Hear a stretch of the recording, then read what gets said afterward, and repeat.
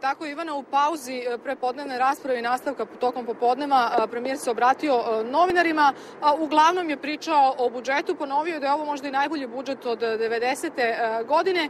Kaže da nije čuo neke primetbe koje je očekivao i da je očekivao prosto više od opozicije. Navodi da za dve stvari bi možda trebalo da se izdvaja više i da su možda tu pravo, to su učenički standard i nevladine organizacije, ali da prosto ne zna odakle. Bilo je govora i o izborima. On kaže da je još rano za takvu odluku, da on možda zna i ima mišljenje o tome da li bi trebalo da bude i vanredni parlamentarnih izbora, ali da će ta odluka biti doneta tek krajem januara kada su slede mnogobrojne konsultacije. U pauzi ovog zasedanja jedna dobra vest, kako kaže predsednik vlade, od Nemačke dobi uveravanja da će u narednim danima biti otvorena tri poglavlja, nova poglavlja u Briselu 5, 25 i 26, odnosno Nemačka će praktično dati garancija, to kako kaže on znači mnogo.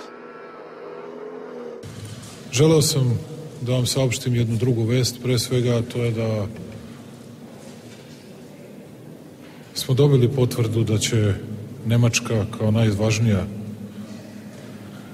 najsnažnija i najznačajnija zemlja Evropske unije podržati otvaranje tri poglavlja do kraja godine, poglavlja 5, 25 i 26 za Republiku Srbiju. Da li to znači da će ta poglavlja biti otvorena, ostaje da se vidi, ali je to veliki postrek nama za rad i hoću da se zahvalim nemačkoj vladi, da se zahvalim nemačkom ambasadoru Akselu Ditmanu, da se zahvalim i američkom ambasadoru Kajlu Scottu, ali i svim drugim ambasadorima Evropske unije koji su nam u mnogome pomogli na našem evropskom putu.